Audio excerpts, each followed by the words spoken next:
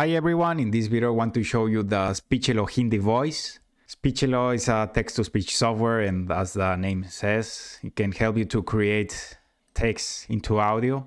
They have different types of languages and different countries so that you might aim for different accents. And here in the Hindi India, you have the standard and artificial intelligence voices that these are the ones that I recommend and these are available only on the Speechelo Pro version.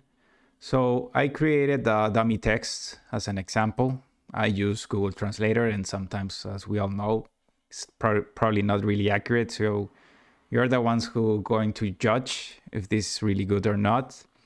So here we have our text and let's listen to the female voice. Hello मैं विटी हूँ मैं हिंदी बोल रहा हूँ यह text to speech software है This is a preview. And let's say that after we are okay with this text, we can just click here to generate the voice. And we will have it here ready for download the audio. In case that we want to listen the other languages, we can just test out this one. Hello मैं विटी हूँ मैं हिंदी बोल रहा हूँ यह text to speech software है This is a preview.